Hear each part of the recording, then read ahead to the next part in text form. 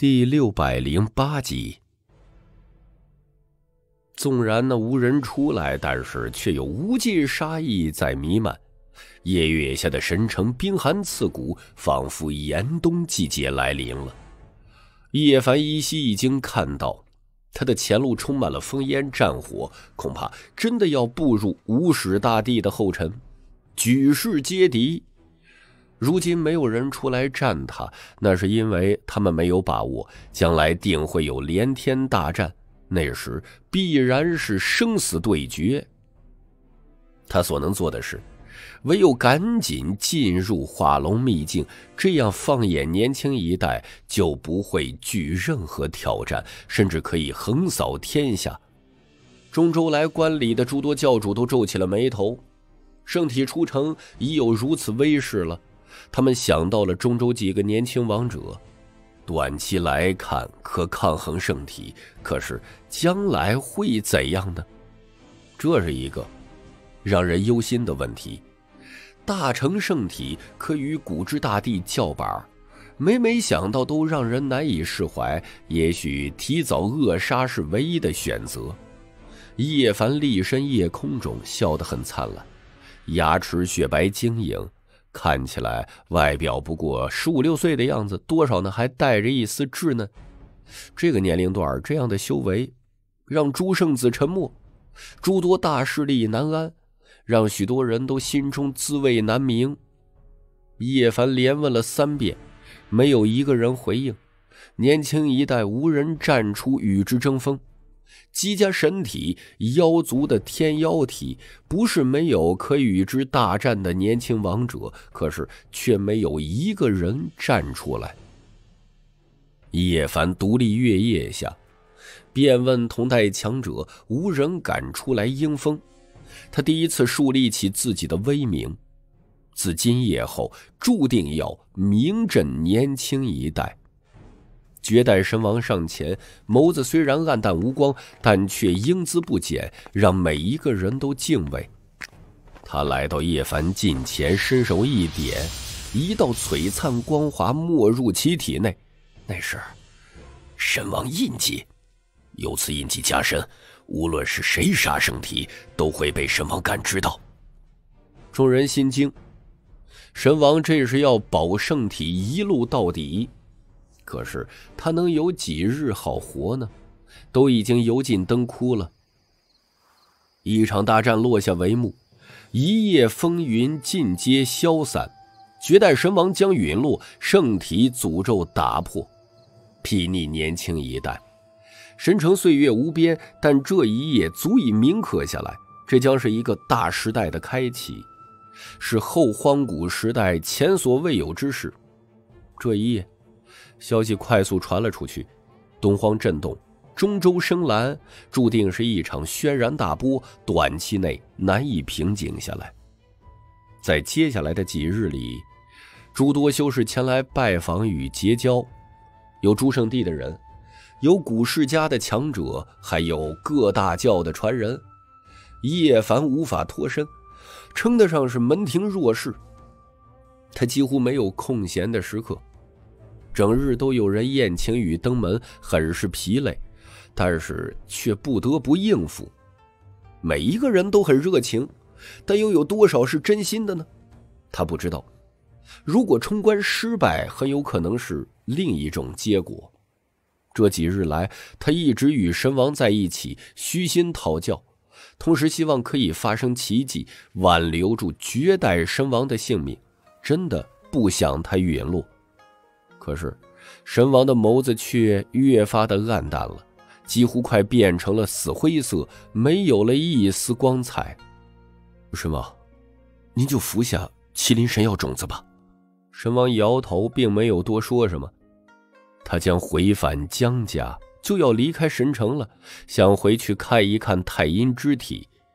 几天下来，叶凡见了邀月空。大夏皇子金赤霄、徐恒、白衣小尼姑等太多的人，却一直没有去见安妙一，因为他现在没有走出去过一步。圣体出城，按照风族的意思，将要让他隐世百年，不成圣主级人物，绝不能出世。这的确是一个稳妥的主意。忍得百年孤独，换得万载鼎盛，日后可君临天下一万年。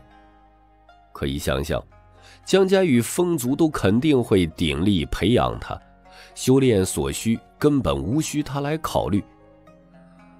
一百年，太遥远了。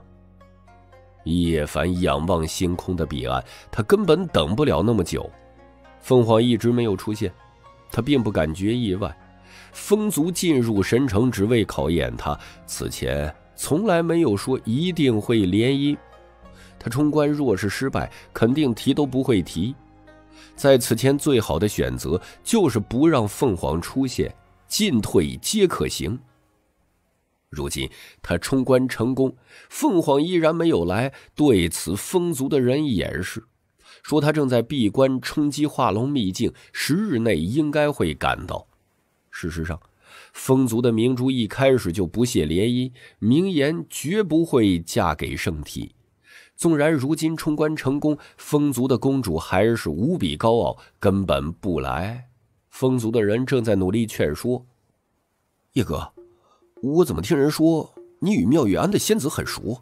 风烈问道。叶凡斜了他一眼，问这个干嘛？我不是为你好吗？我姐姐心高气傲，即便你圣体出城，她也不见得会理你。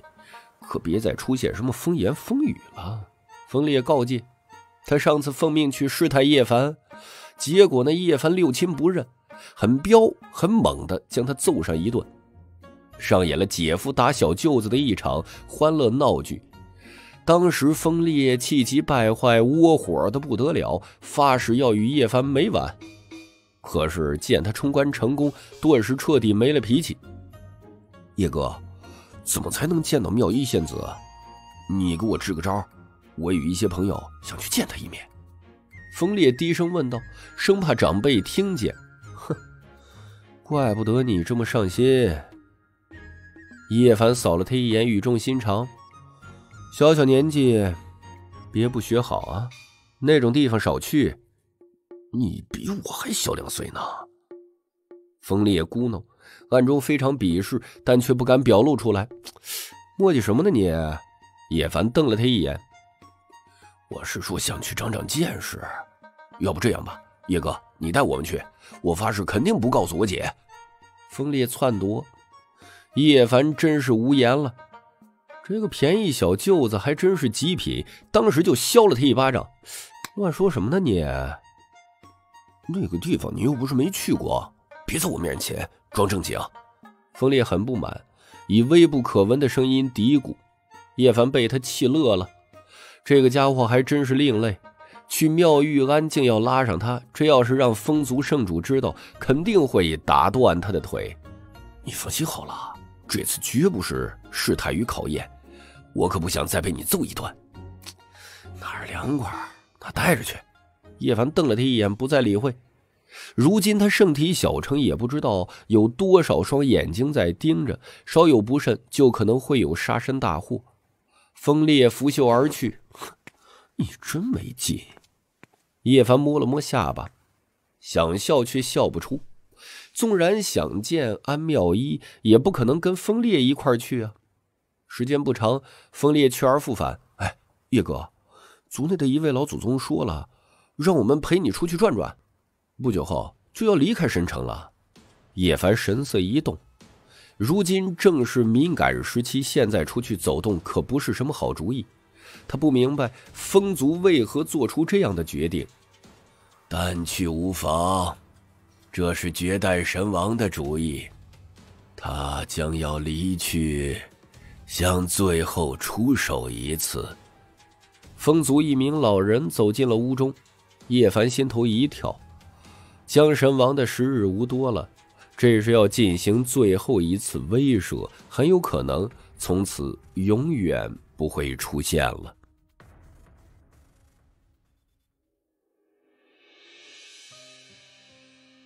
本集已经播讲完毕，感谢您的收听。头陀渊讲故事，谢谢。